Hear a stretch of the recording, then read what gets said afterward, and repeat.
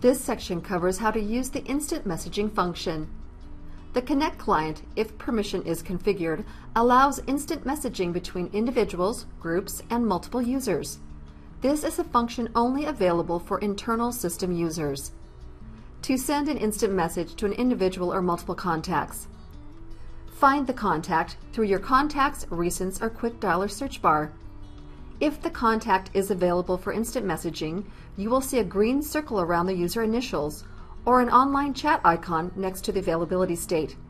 In our training scenario today, those indicators are not visible. On the contact card at the bottom, click in the message input field and start typing. You may use emoticons if you wish. Press enter on your keyboard to send your message.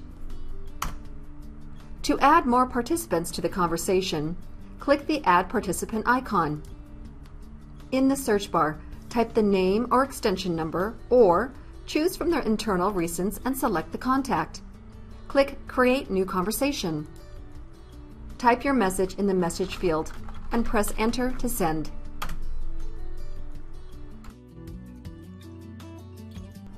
You may also send instant messages to groups. See our Managing Contacts video to learn how to set up contact groups. On the dashboard, click Contacts, then Groups. Select the group to instant message via the hamburger menu. Select Start Group Chat.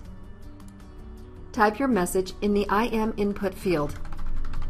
Press Enter when done. Note, you may add more participants to the group chat, just as we did when adding to an individual chat. In a group chat, the messages are delivered only to the contacts who are available online. Your recent instant message conversations can be accessed by the Messages tab on the dashboard. This provides easy access to continue your conversations and an at-a-glance view of the last message in the conversation. To view the complete IM conversation history with a specific contact, select the contact.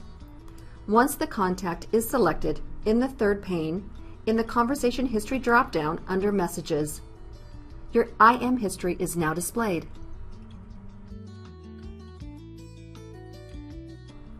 To set up pop-up notifications for incoming instant messages, go to your settings.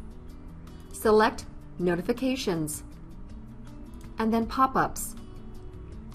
To enable instant message notification, select Show a system notification for an incoming IM.